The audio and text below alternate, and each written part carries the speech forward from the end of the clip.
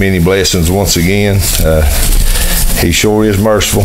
He's merciful to us, I, and I'm I'm one of them fellers. I I believe as long as there's life there, there's hope. I'm this. That's just the type of feller I am. Uh, If, if there's life in you, there's hope for you. Yes. And uh, I believe that, and, and I, I, I, I've always been a person that fool with uh, animals and livestock, and uh, God knows that uh, the thing, the ones He's put me over, as long as there's any sign of life in an animal, I don't give up on him. I just don't give up. I keep giving him medicine. I keep holding him up and pouring stuff down him. But as long as there's life inside of him, I'll never forget this. Uh, went up there one morning. It was cold. Seemed like a wire had frost way big. It looked like it was great big because it was so cold. And I had a little goat. and She had two babies, and she hadn't even got up from laying down having them. And uh, one of them, I, I just picked it up and sailed it down over through the woods. And, and when I went to pick it up, I seen its little mouth just kindly move just a little bit. And I grabbed that thing up and and took him to the house just as fast as I could. And it's uh, one morning early before we went to work, and I told Donna, I said, uh, "Get you get you something warm and rub this little feller just as much as you can rub him." I said, "I'm gonna go get me some warm milk." And I went back up there and I took a little old syringe, about about a 10 or 12 cc syringe, and I held the end of it and I milked milk down in there and put the stopper back in it. And here I went and went down there and just any way you laid it, if it wasn't supported, it just it just limped down. Yeah. And I held its little head up and and had a little tube that I put on the end of that syringe and stuck down in its little belly. And I eased that milk in there just as easy as I could. And I said, now you keep right on rubbing it. And she was just throwing one towel in the in the dryer to get it hot, and then she was wrapping him up and messing with him. And I went back and got me another syringe. And I come back and I put it in. And I said, now you keep messing with him. I said, uh, I said I got to go to work. And I just had got to work down at Rogers. It was about 8 o'clock, and she called me. She said, This little lamb is a running everywhere. and he said that it, it just a balling its little head off. And I came in that afternoon, took it back and give it to his mommy. And, you know, and when I when I seen there was life in that and, and I gave him milk, I, I told you wrong. I said I went back and got another tube. I didn't. Uh, the next trip back, I went down over the hill to the woods to see if his life still in the one I threw away. Yeah. And uh, and I went down there and he wouldn't. He was he was dead. He was the firstborn. He was dead. And uh, but as long as there's life in something, there's hope for it. There's hope. There's hope. Remember, that's a goat. Yeah. You said lamb. yeah. Yeah. Talk for the goat. Yeah. Well, you said, you had to tell me plain, Clyde. They was, you said that lamb. Yeah, lamb. it, it was a goat. I call little lambs. I don't call them kids. I call them goats. I, I mean, I call them lambs. Yeah, Yeah, but it was a, it was a little baby uh, goat, and, and I call them lamb. But uh, they're they're called kids is what the right name for them is is a little kid K I D that is.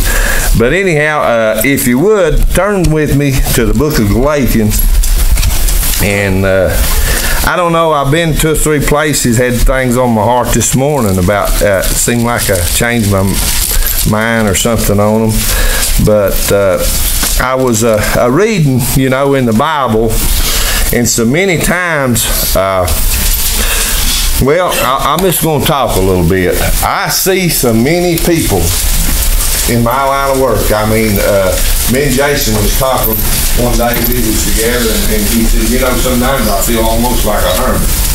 Well, I'm around a lot of people, a lot of different people. And, uh, and I talk to a lot of people about, about the Lord.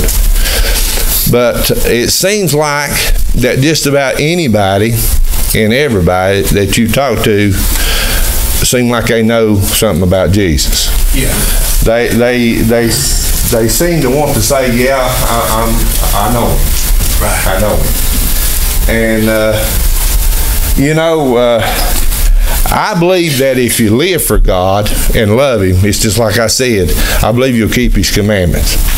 And I believe when you read His precious word, and you're found guilty in there of not keeping his commandment or breaking some of the things that he says you ought to be doing, I feel like the Holy Ghost will convict you.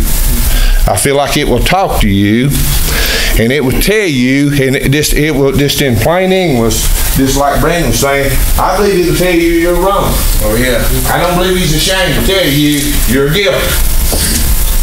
And I believe that when you're found guilty, if you live for God and love Him, I believe when you're found guilty, you want to do something about it. I think you want to do something. I believe you want to change that. All right. And but there is so many people that lives in this world and in this universe that thinks that maybe they come to a camp meeting one time right here and they were six or seven, five years old, six, seven, ten, fourteen, eleven, or whatever. Yeah. And, the, and, and the emotions was high, and they got down and they cried, and they made a confession. But they never did. There never was a change made in their heart and life. They wanted to do good for a little while when they left here and got out of this environment. Right, Lord. But but you know, uh, if, if if I lived here continually in this church and in this environment, even if I was lost, I'd still be. I'd think about God about it all the time because that's all y'all talk about. That's right. That's all we talk about. Yeah, right. But God wants us to be a Christian when we're out of this environment. He wants us to be a Christian. And so many people, they say, yeah, I know the Lord. Jason, this uh, this maybe last Sunday was talking about getting his hair cut, talking to this lady about the Lord, and and you know seemed like everything was just falling right in place until he found out that she was living in fornication. Then the Word of God don't allow that. No, it don't. It don't allow that. That separates it. And the people that knows the Word of God, the people that, that has read the Word of God, they immediately, the Holy Ghost will speak to them and say, guilty. Does that make you a judge? No, it does not. Yeah. Makes you a judge of righteousness That's your son. makes you a ju- judge of righteousness and what God expects out of you. But I have had so many of them to talk a good talk to me and be shacked up with a man, be shacked up with a woman. Oh yeah. I have had so many of them to talk to me that would talk a good talk, catch them in the store, buy them a case of beer. Bless him, Lord. I, I just don't believe that way. No. That ain't the way I believe. It's not the Bible ways. But but still they think in their hearts that, that, that they're good to go. They, they feel like they're going to fly away. I feel like that, that they've been deceived. Oh yeah. I feel like they're deceiving their own selves. But but you know in in Ephesians he says, "For by grace you are saved through faith, and that not of yourself, it is a gift of God, not of works, lest any man should boast." You want to you want to tell me how many times I've heard that out of people that's living wrong? They take that scripture. Well, it's not by works. Right. It's not by works. You know, they want to take the Word of God just like the devil did when he had Jesus up on the mountain and tempted him. The devil wanted to take the Word of God and use it on the Word of God. That's right. And it won't work.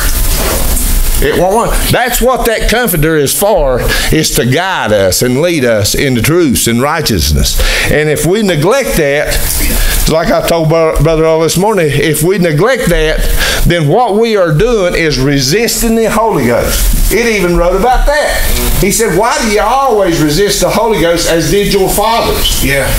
You see, you can resist this thing, but but they use this. Uh, they use this. Well, it is the grace of God. I, I could not have possibly made it to, to Jesus Christ and to the Father except for the goodness of God led me there. So it was the grace of God. It wasn't the works that I had done before uh, I met God. It wasn't because uh, when I even before I met God, I didn't think it would kill people. That's good. Even before I met God, I didn't think it was right to lie and steal and cheat. I didn't go around naked even even before I got saved. Amen. But I still, I know it wasn't nothing that I, it wasn't none of my goodness that ever got me there. Nothing- That's what this is saying. Yeah. It ain't, it ain't nothing that you ever done that makes you worthy. But it was the goodness of God. Amen. That through believing in Jesus Christ, you got there. Now, uh, I want you to go to Galatians, if you would, in the book of Galatians. And these, uh, these people, these Galatian people, Paul was, uh, he was uh, re- reproving them. And in chapter 2, and uh, I guess about uh,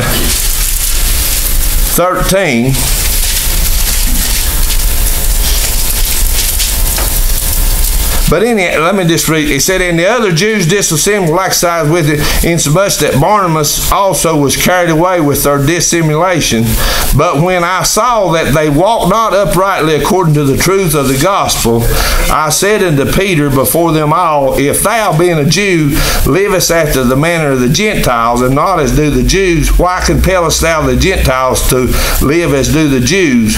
We who are Jews by nature, and not sinners of the Gentiles, knowing that a man is not justified by the works of the law, but by the faith of Jesus Christ, even we have believed in Jesus Christ, even we have believed in Jesus Christ, that we might be justified by the faith of Christ and not by the works of the law. For by the works of the law shall no flesh be justified. Right. Now, see, that's talking about works again.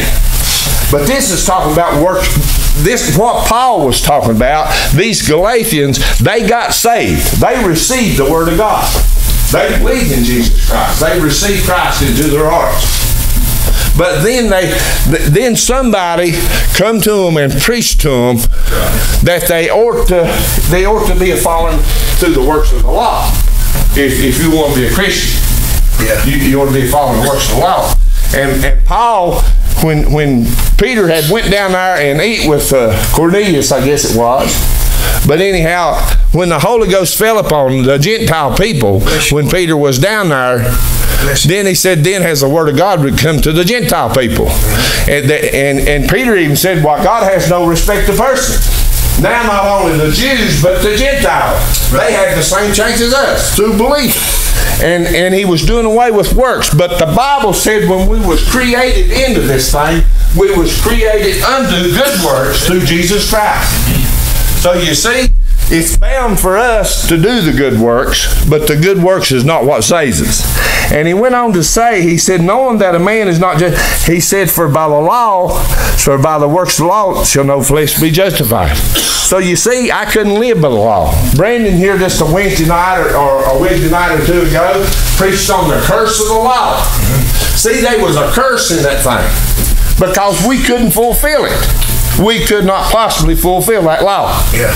And and James, when he talks about faith without works is dead, James said in the law that if you was guilty of one point, you was guilty of all. And he said, you might can keep all of the commandments. You might can keep all of the law, Yeah. but be guilty in one little point. Right, Walter. And he said that makes you a transgressor. That makes you guilty. Yeah. So you see, there ain't no way in this world that we can be justified any other way but by Jesus Christ our Lord. And he went on, he said, But after we have justified, now you listen to this right here in, in 17. He said, But if, while we seek to be justified by Christ, Yeah. we ourselves also are found sinners, is therefore Christ a minister of sin? God forbid. Yeah. So you see, they want to tell you the world that's living in adultery. They're living shacked up with that with that woman, that whore. That whore is nothing in the world but that, that, that it talks about. It's talking about the world. They, they, they, they're committing fornication with the world. Yeah. They're committing adultery with the world, with that woman that rides upon the beast. And, and, and they're saying, you're not just, you know, it's not by works. It's the grace of God. God give it to you. But I'm reading to you that Paul said to them that was under the law, them that said it was by works, he said, it ain't by works. He said, no man can keep these works. Yeah. No man can. You're justified through Jesus Christ. Now, now you've put on Christ. Created unto good, good works. Now, do you take this uh, liberty that Christ has given you to be a sinner? No, sir. Do you take this liberty that Christ has given you to steal off of people, to lie and cheat, and do those things that's contrary to the Word of God? No, you do not. Because if you do these things, you, you know what he said? He said, if you build, for if I build again the things which I destroyed, I'll make myself a transgressor. Yeah. Well, you go to James where it talks about faith and works. And, and he said that if you're guilty back there, you become a transgressor back there. He said if you have respect one to another, then you're a transgressor. Bless you all. Now, if Jason knew that I was sitting right here and he knew that I was involved in something that wasn't right with Christ, and he respected that situation and didn't say anything to me, but then turned right around and scold Clyde for something he's doing, then he's showing respect to persons. But see, the Word of God don't have no respect to persons. No, don't. None whatsoever. I mean, people, uh, they, they beat all I've ever seen. They, they think they can live like the devil and just go right on into heaven. They think, they think it makes no difference. You know, I made a confession when I was little, and the Bible said it wouldn't by your works. What are you bragging about? They want to make you think, if you're trying to live right, that you're working your way to heaven. That's right, Lord. They want to make you think that. That's why it's so important to dig in that word and know what it says, that where you won't get entangled with these situations that come up. Because that's the biggest thing that I see in this world right today is people that seem like the church is just coming closer and closer to just being eternal security. Amen. That, that everything's all right. That's right. I mean, I have them all the time, right out of them places. Well, I wish the Lord this take her. I wish the Lord this take him. He's been ready to go for years. Living like the devil. Ready to fly away. I'll tell you what the Bible says. And then he told me not to gloat in that day. That it was going to be a dark and a gloomy day the day I made up with you. Who would I be to think that I was something to stand before God and pat my chest and say I've done something? Yeah. But God knows if you love Him, if you keep His commandments. He does. And He said, well, you're talking this, is that talking this to the Jew? Is that talking to the Gentile? That's talking to the children of God. That's talking to the sons and daughters of God. When we, when we, when Christ comes and we accepted Christ, we become a son of God. Yeah. Well, see, back in Jesus' day, that was blasphemy. If, if, if the, the religious sect and the people under the law, if they'd have heard me say I was the son of God, you know what they said? They'd have stoned me. Just like they wanted to stone him.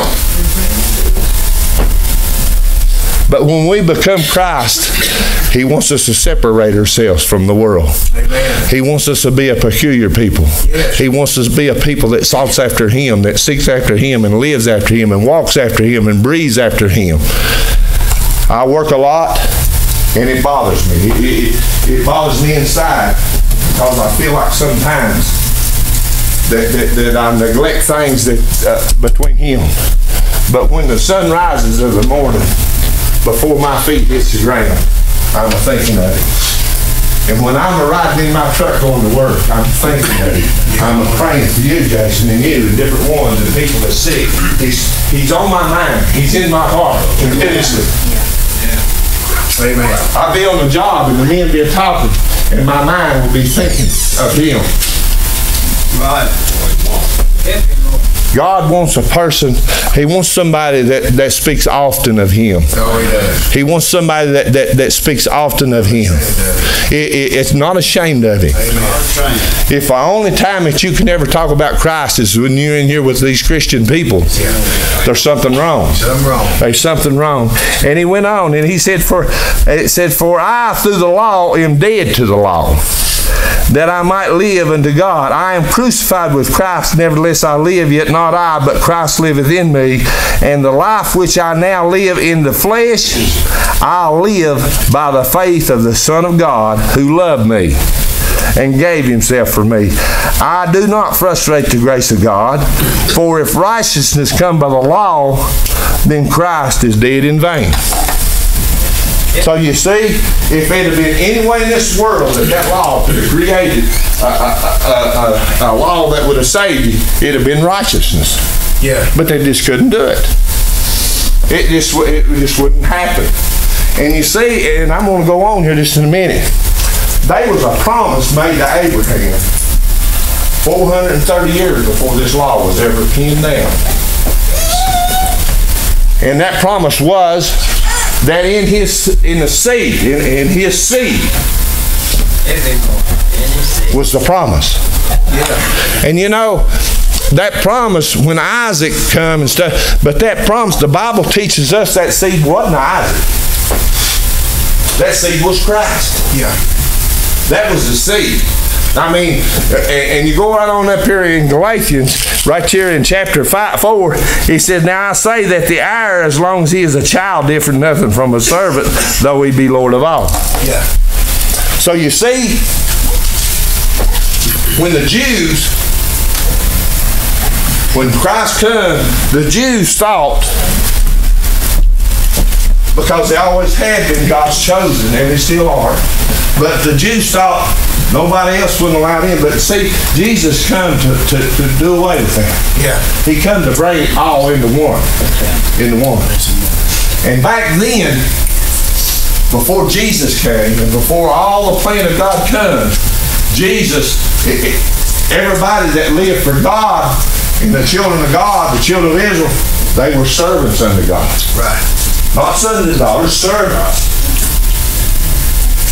But now it's talking about a servant and a, a son being an a servant. He said one didn't differ no, no more than the other one did. Why? Because the promise was made to Abraham 430 years before this right here come and said that if we would believe in Jesus Christ and accept him in our heart and depart from iniquity, we could be sons and daughters of God. We'd be grafted into this body. Listen what he said. He said, but is under governors and, and, and uh, the time appointed unto the Father. Even so we, when we were children, were in bondage under the elements of the world. But when the fullness of the time was come, God sent forth his Son, made of a woman, made under the law, to redeem them that were under the law, that we might receive the adoption of sons. Yeah. And because you are sons, God hath sent forth the Spirit of his Son into your hearts, crying, Abba, Father, the Holy Ghost. You. Wherefore thou art no more a servant, That's right. but a son. Thank you, Jesus. He said, and if a son, then an heir of God through Jesus Christ. How howbeit then, when we knew not God, we did service unto them which by, by nature are not gods, but now after that we have known God, or rather are known of God, how turn you again to the weak and beggarly elements whereunto you desire to be in bondage? Yeah. Now he's a talking, he's a talking to them, going, wanting to go right back, going right back to the Jewish fables and to the Jewish laws and to the but I'm talking to you about going back to your old life. They was talking to them about going back under the law. I'm talking to you about going back under the, the, the things of this world. And knowing better all over. Being warned of God to know better. Because I see so many things people uh, come up to me and they're just ready to fly away. I'm gonna tell you, young men and young women, you can't behave yourself. The Bible said it was better to marry than to burn. Now, now, people think you just go right on and do what you want to. That, these people that, that they can't stand their husband, but yet they're ready to fly away. They can't stand their wife, but yet they're ready to fly away. They don't, they don't want to do, they don't want to take care of their children. They neglect taking care of their children. And the Bible teaches me that if, if we won't provide for our own, we've denied the faith. That's right. There's faith in Jesus Christ. But it says if we if we won't take care of our own, we've denied the faith and become worse than an infidel. Why in this world would I think that God would let me buy with something that He won't let Matt buy with? He just wrote this right here plain as day, and it's for me and Jason and Matt and everybody. Everybody. That's right. Yeah. Divorces on every hand. You can't, you can't talk to people about God because they think divorces is just something to do, do, do. And I know they happen. I know they do. But God ain't pleased with them. Oh, I know. Yeah, that's a quiet tone right there. Come on. But Jesus is the one said it. That's He said it wasn't from the beginning. He said them things that God had put together, let no man put asunder. And I don't understand how. And and and even even Bishop, I, I don't understand how Bishop could stand behind this pulpit right here and do with his wife and get another, and think he could just march right back in here and tell me how to live. I don't understand that. Bless you all. Do you understand it, Jason? I don't understand how somebody that lies like the devil can come and want to be an instructor to me. I don't understand somebody that won't take care of their little children right there and want to instruct me how to live. Yeah. Right. I tell you, our instructions right here by the Word of God. This right here is our instructions, Exactly. right here. And the faith in Jesus Christ is, i- i- is only goodness that we'll ever have will be in Jesus Christ. Yes. All the righteousness that we'll ever have will be in Jesus Christ. But let me tell you, I'll tell you what, they'll, they'll look down on you for trying to live right. They sure will. They'll call you self-righteous. They'll call you a holy roller. They, they, all, they got all kinds of little funny names that they like to call people that wants to live right and go to heaven. They do. And, and you know what? The most of it ain't coming out of lost people. It's coming out, well, it is coming out of lost people, but it's coming out of people that confessing that they know God. Uh, if you want to get a hornet's nest stirred up, you get you you get your conversation going with them, one of them that's really rooted and grounded in eternal security, and you get your conversation going with them, and it's just like standing with a little switch and drop orange there and pecking outside of it. Won't be long, it'll come out. Yeah. I've had them point, point their finger just like that, right there, and they nearly touch your head. They want to get just as close as they can. Stomp their feet. Yep. Slam the doors. Yep. Do all kinds of stuff. Yeah. And he called me back. Said my husband told me that I had to call and apologize to you for what I said. I'm to apologize because of my husband. But I was right. I told her, I said, whether you're right or wrong. I said, then you'll never have another conversation about the Bible. I said, I, I don't care who was right, who was wrong. I said, we won't have another. one. All I asked her was Judas Iscariot ever one of, one of Christ? I said, was Judas, Judas Iscariot, was he ever one of Christ's disciples? Why, she jumped that eye. That's all I asked her, Jason. Yeah. I thought she'd never shut up. On and on and on. They, some of them will nearly fight you over. it. But I tell you, uh, by the word of God, it's not right. No, it ain't right. By the word of God, it's not right. Amen. Amen. And I, I wouldn't teach my children that for nothing in this world.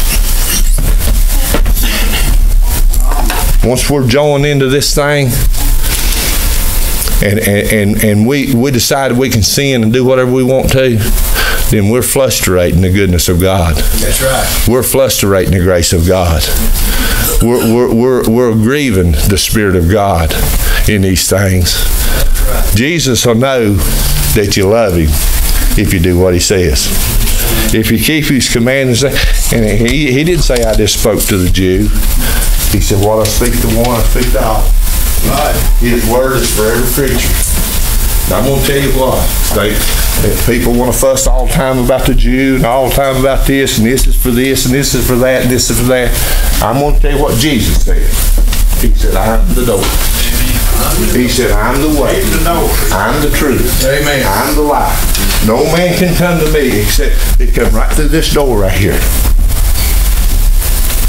And that right there is for the Jew and the Gentile. That's for the lost, that's for the saved. No. That's for the good, the bad, the ugly, the, the, the pretty, whatever.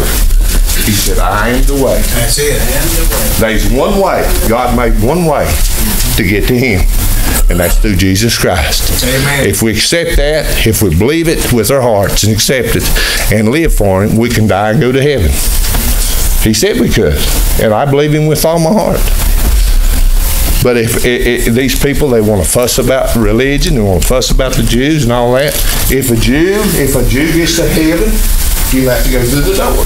You have to go through the door. He'll have to go through that door. You sure will. If you get to heaven, if I get to heaven, I'll have to go through that same door. Through the door. It's Jesus Christ. They, they nobody in this world found worthy except for Jesus Christ. Amen. He was good enough, and God accepted him, and he became the supreme sacrifice for our sins. Right. Not that we could freely sin or had liberty to sin, but it was for the sins that we had created, the sins that we couldn't do nothing about, the sins that I talked about two weeks ago, a, a bill that we could not pay. That's right. He died for them and made a way that, that, that through him and his goodness that I could come to him. And he didn't create me to go out and be back in the world. He created me unto good works That's right. that I wouldn't grieve and frustrate the Spirit of Christ. And if, and if we do these things, we're walking contrary.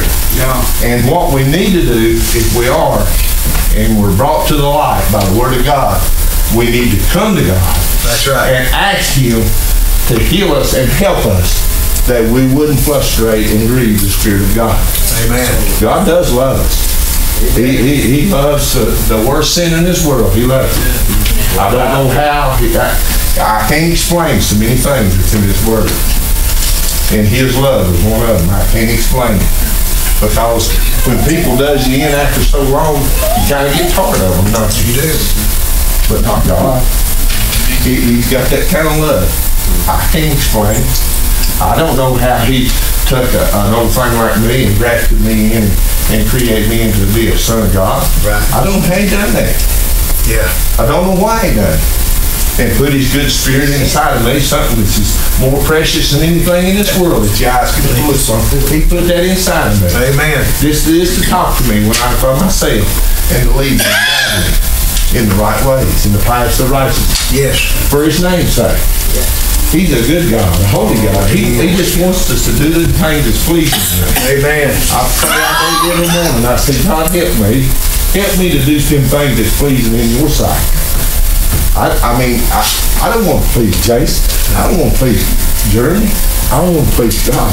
That's right. I want to be pleasing in His sight. That when He looks down upon, I've cried to Him. I said, "Don't let me do the things that grieve Your Spirit. Don't let me be contrary and hard-headed. That's our nature, you know, to want to do things that we ain't supposed to do. But God loves us. He wants us to go in the right way. I appreciate it. Amen. Amen. Well, that's wonderful teaching, wasn't it?